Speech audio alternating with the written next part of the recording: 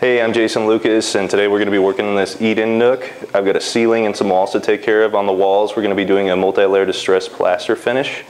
And then on the ceiling, I've got kind of a just a round turret ceiling with a slight pitch.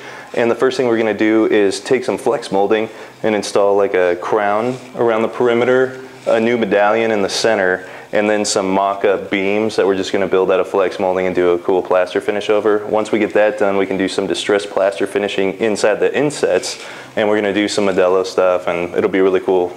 Gonna change the effect quite a bit. Okay, for the center medallion, we're just using one of these composite ones. You can pick these up at like a Lowe's or a Home Depot, anything like that. So we're just gonna drop this in the center first. For the perimeter, we've just got a real basic crown mold. This is actually isn't even a crown mold, it's a baseboard, but we're gonna flip it upside down so I got this big fat lip on top. That's what my beams will run into.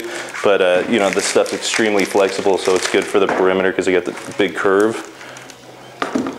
And then for our beams, this is just gonna be flat. Uh, it'll look a lot more interesting when we're done because we're gonna do a plaster treatment over it, make it look like actual wood and do some stenciling. But again, you know, this is just real flexible vinyl stuff. So go ahead and start doing some cuts and laying this up. This really isn't for every decorative painter. You might want to have a carpenter do this part for you. So we'll set this up and then we'll get on to the decorative painting part.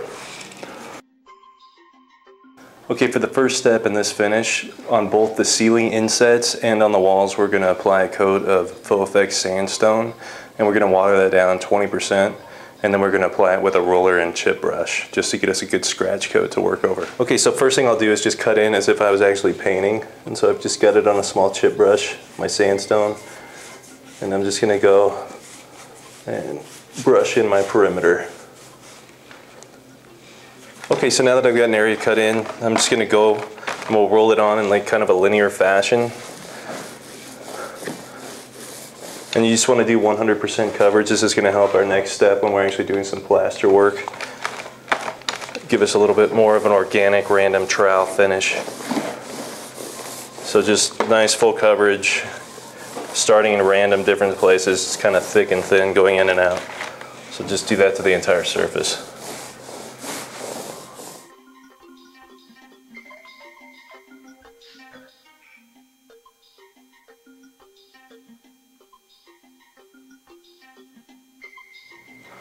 Okay, so now my sandstone is dry, so I've applied two coats of it, and it's like a really rough aggregate because sandstone does have like some aggregate in it, and that's what's gonna help create a random trowel on our next layer.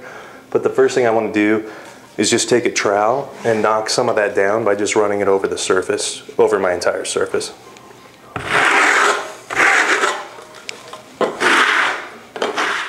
Okay, for the next step in this finish, all we're gonna do is take some water-based crackle size and a chip brush and I'm just gonna randomly brush this over, let's say like 30% of the surface. So just doesn't need to be real thick. You can vary the thickness and just don't give it a lot of thought. Just kind of fly over your surface. And then we're gonna let that set up for about one hour and then we can get on to our next step.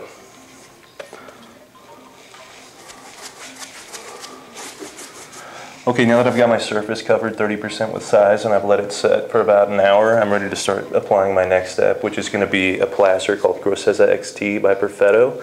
And what this stuff does is uh, it goes on really nice, very easy to trowel, but then it fractures on its own. And it gives us this nice little porcelain fracture, just creates a lot of interest in the texture.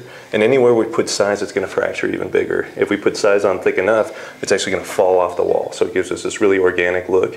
And the reason we're doing this in the process right now is what we're doing is we're creating the background kind of uh, texture look for our next plaster step where it's going to break away and it's going to expose this. So the idea is that this is like an old old uh, castle or an old building that's not built out of drywall, but there's actually like stonework behind here and that's what's being exposed when it's falling apart. So that's why we're doing these layers in this order right now.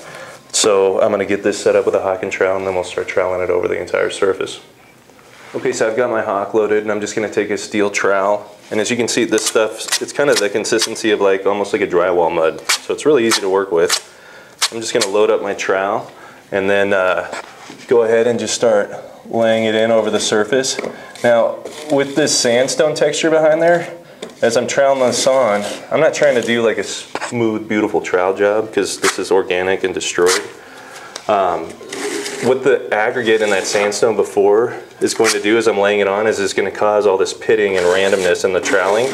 And that's exactly what we want. It's just going to add a lot more interest. And these holes will give us a really nice effect. And keep in mind too, like when I'm troweling on the Grosezza, it's not a totally skim coat everywhere. I'm gonna go in and out, have thicker and thinner areas. Anywhere I put this on thicker, it's gonna fracture bigger. And the thinner spots, real thin, it might not fracture at all. But then in mid thin, it's gonna give us this nice little porcelain fracture. So when we stain it, it's really gonna enhance all that.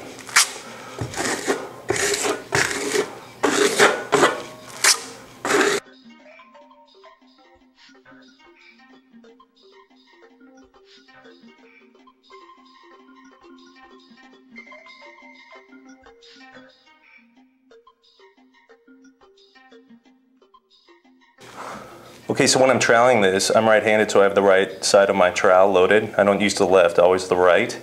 And if you're left-handed, of course you use the left-hand side.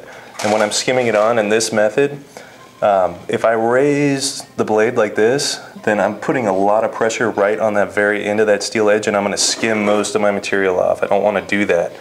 What I wanna do is load it and I'm gonna lower the blade so that this outside edge is closer to the wall and that means more surface area of my trowel is going to cover the surface of the wall, so it's going to be less pressure and it's going to go on thicker. Okay, so the Grosezza is dried overnight, and as you can see, we have this random fracturing, goes in and out, and we have some pits and voids. So the next thing we need to do is just take some 220 grit sandpaper and give the entire surface just a light sand just to knock down any of the sharp pieces or anything that was going to fall off anyway.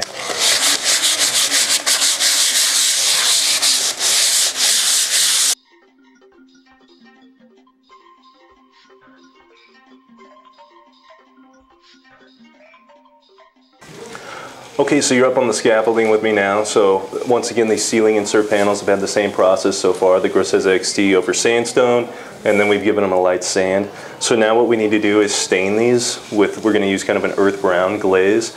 This is gonna be meant to represent kind of the background plaster. When we do the next steps and there's pieces of it broken away, this is what'll be exposed, okay? So this, that's what we're creating right now. And to do that, what I've got is I've got 20 ounces of golden full-bodied glazing medium and 8 tablespoons of earth brown aqua color.